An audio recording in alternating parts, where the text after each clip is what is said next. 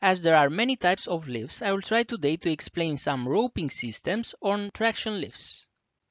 The necessity of using different lifts is created because of different types of sites where the lifts will work. The first scenario that I will describe is the simplest but not a very common one and it's about a lift with one-on-one -on -one traction and a drum gear. The gear is placed on top of the shaft or in the lift room which is placed on top of the shaft. The gear can be placed also in other positions but diverters must be used. In this case, the gear will sustain the entire weight of the car and its load. To lift the car, the force used must be bigger than the car weight with load included, plus additional forces such as momentum or different friction forces. To let down the car, the gear will only need to control the movement by braking the speed of the car descending. In this case, if the motor is controlled by a frequency inverter drive unit, the energy produced by slowing down the car will be converted in heat released by the braking resistors. The speed of the lift will be equal with the speed of the traction ropes. The advantages of using this kind of lift are related with the simplicity of it.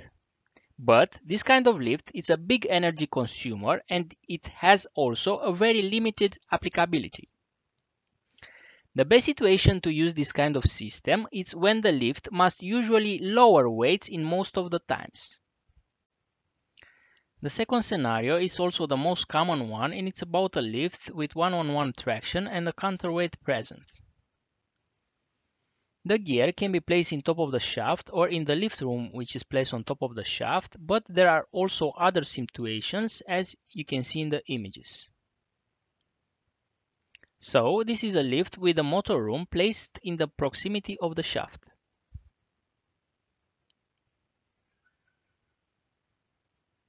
Now a lift with a gear placed in the pit.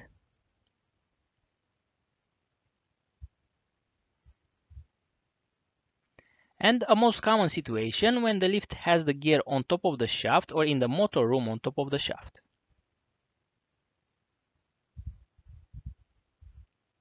In all these situations, the gear is sustaining the entire weight of the counterweight plus the entire weight of the car and its load.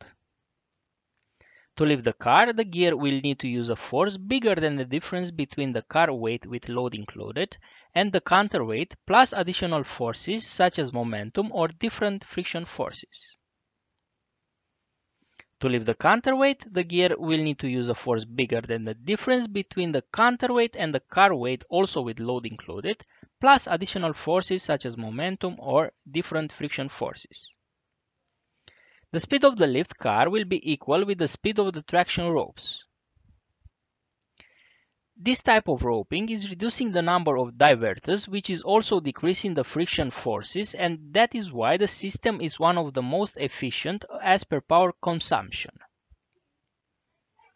As I've said before, this system is also very common and most of the lifts are built like this, but of course that there are situations when it cannot be used or is not recommended, as you will see forward.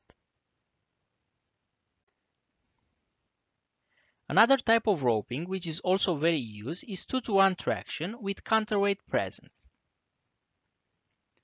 In this case, the gear can be placed again in many positions, which will determine the number of diverters that will be used. Also, the diverter's configuration can be different as it can be seen in the pictures.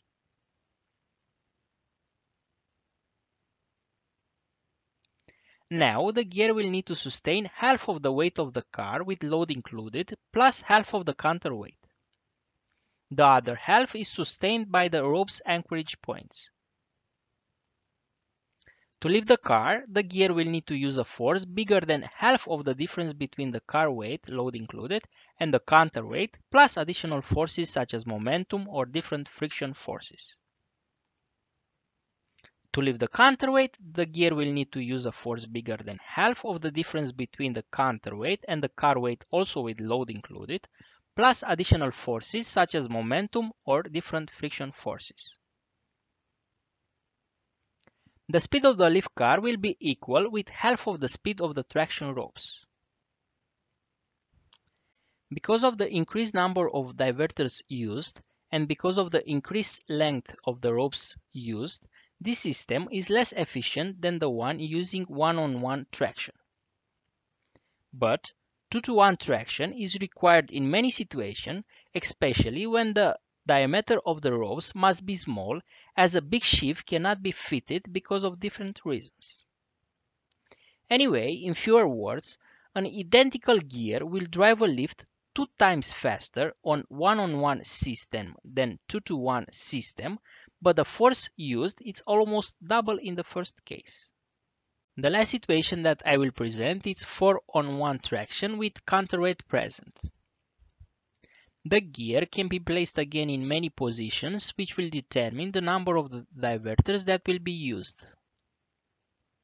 Also, the diverter's configuration can be different.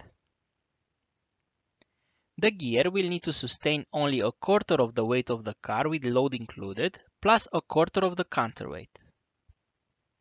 The other three quarters will be sustained by ropes anchorage points and also by some of the diverters.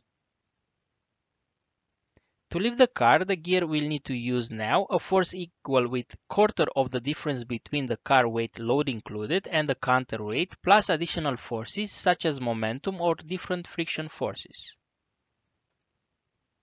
To lift the counterweight, the gear will need to use a force equal with quarter of the difference between the counterweight and the car weight also with load included, plus additional forces such as momentum or different friction forces.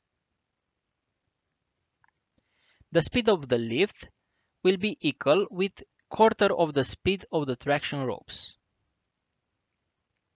Because of the increased number of diverters used and because of the increased length of the ropes used, this system is less efficient than the one using one-on-one -on -one traction or two-to-one. Usually, we will find this system on lifts that are meant to deal with very big loads. Here, a gear for one-on-one -on -one or two-to-one system, it will be too big. Also, the lifts using 4-on-1 traction are not meant to be very fast. Of course that there are also some other traction systems for electrical lifts, but I have only presented the most common ones. When we choose a traction system, there are some factors that we need to consider such as the required speed of the lift, the maximum load of the lift, if there is any lift room, the total travel of the lift, and so on. Also, there always need to be a correlation between the rope's diameter and the sheave's dimensions and between the rope's diameter and different weights. As bigger the rope diameter is, as bigger will be the total load that the lift can handle. But it will also require a bigger traction sheave and also bigger diverters.